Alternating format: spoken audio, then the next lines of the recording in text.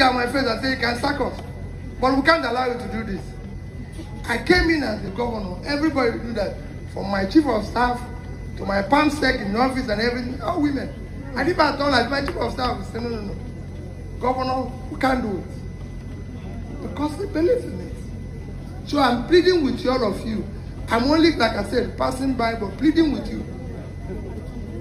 Try to ensure that this year we don't go back to that mistake of somebody telling us, giving us excuse. We want to change the country. We want Nigeria to feed itself.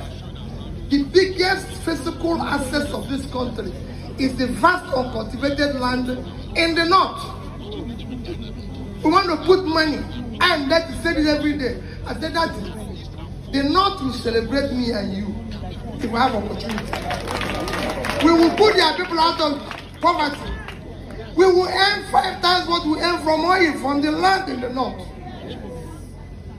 What is the land?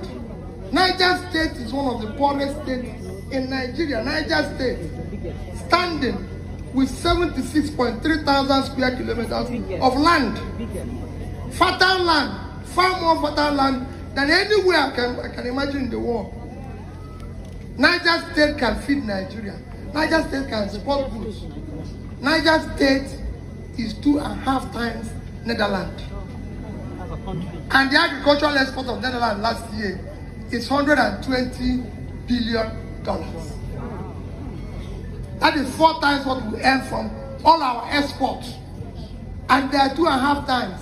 Niger State gets from statutory allocation after deduction about 50 billion naira.